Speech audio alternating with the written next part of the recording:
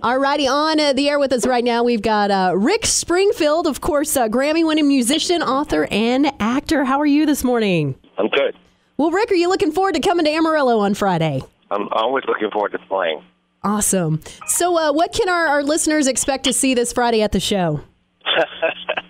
Uh, me, Well, yes, of course. me and my band. Uh, to, I have a great band, and they they, they kick butt, and uh, it's uh, loud and sweaty show, and we'll send everyone away hot and happy. Awesome. Well, that sounds like it's going to be a fun, fun night. And of course, uh, I know uh, recently you uh, just starred in uh, Ricki and the Flash with Meryl Streep. How how did that happen? What made you decide to do that movie?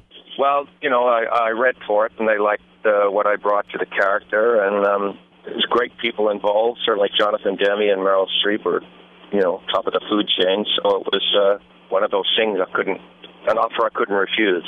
So, did you have to teach Meryl uh, any tricks to uh, the whole uh, music scene? Yeah, yeah. I, I gave her a couple of tips. You know, she was only when she asked. She's uh, she just wanted it to look authentic. You know, and and I would ask a couple of things about how what what looked the most authentic as far as what what a you know a full time musician would do. But uh, it's all just part of her making the character as believable as possible, which she's a, a master at. So, when it comes to the different things you've you've done, like uh, acting and writing, and of course your music, what do you just love them all equally, or do you love one more than the other? I love the one that I'm doing right now. You know, it's uh, kind of that. It all comes from the same place, and whichever one I'm involved in, that's the one I love the most. I'm fickle. Well, you've got a wide variety of things to do, and that's always great. So, uh, what do you think about how the face of music has changed since recording Jessie's Girl till now and the challenges you face as an artist in today's music world? Um, well, it's always, you know, uh, the music business has changed pretty dramatically, but uh, there's still great music out there. I'm, I have a new record coming out in uh, February, my 18th record, and you know, it, it's it's it's much more. Um, I mean, the, the the radio picked Jessie's Girl to be a hit. It wasn't uh, the record company. So, and that that couldn't happen today, you know. And now radio just gets their really tight playlists, and they aren't allowed to uh, to throw on something that they just like, which was kind of the, the the great thing about radio and music back back when they used to do that because magic could happen, you know. But magic can still happen now. It's just uh, um, there's got to be, you know, a couple of million dollars behind it. Oh man! Uh, and I've had several of our listeners want to know when is the sequel to Magnificent Vibration coming out? I'm working on that now uh, while I'm on the road. I just uh, that's going to be ready when it's ready. I'm not quite sure.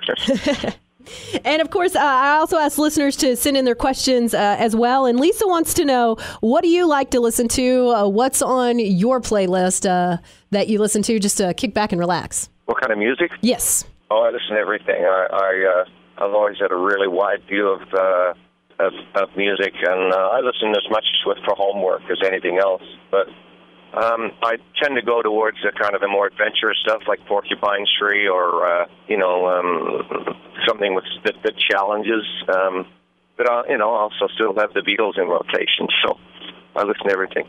Ah, you can't go wrong with the Beatles. And I guess uh, also one of our listeners wants to know uh, will Dr. Noah Drake return to General Hospital anytime soon? Uh, no, I wouldn't think soon. You know, I mean, I- I'd never say never because I owe that I owe them a lot. But I went back to the 50th anniversary and uh, for a couple of weeks, and uh, uh, I'm just kind of busy, really busy right now with other stuff, and it's it's very time consuming. Soap operas are, are the hardest uh, acting gig in the world, and uh, the hardest writing gig, the hardest producing gig, and the hardest directing gig. So it's it's very time consuming, and uh, um, I, I honestly don't have the time right now. But you know, I mean, you never know. I mean, I I certainly owe that the show a lot. Well, I know you said you have your new album coming out. Uh, any upcoming movies you're going to be working on? Um, yeah, there's there's stuff I'm meeting uh, with now, meeting on now. I can't nothing I can really talk about, but yeah, there will be stuff coming out. Well, uh, I'm sure all your fans out there are, are so looking forward to that. And of course, uh, all the fans in Amarillo are so looking forward to having you here on Friday night. I'm looking forward to it too. And so is my band.